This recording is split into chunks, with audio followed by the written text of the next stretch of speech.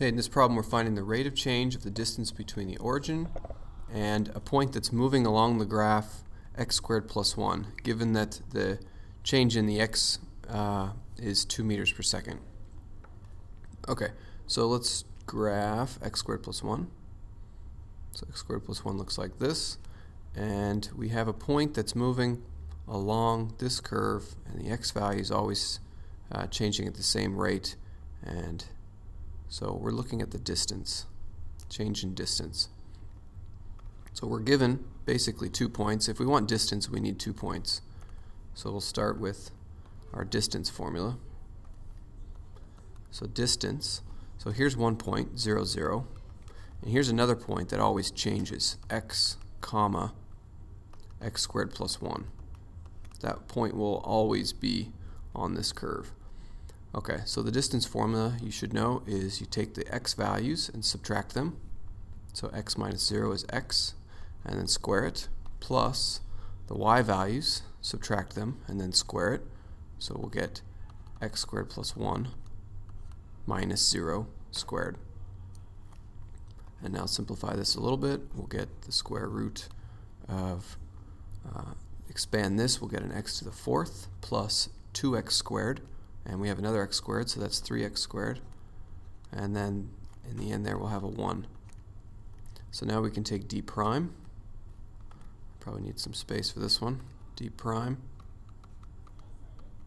will be bring down that half, keep the inside alone to the minus 1 half times the derivative of the inside. Now this is the thing, we're taking it with respect to time has to be with respect to time. So this will be 4x cubed times dx over dt plus 6x dx over dt. This is all from the chain rule. Bring down the 4, keep the inside alone to the third power times the derivative of the inside. This is from the, the chain rule. And then plus 0.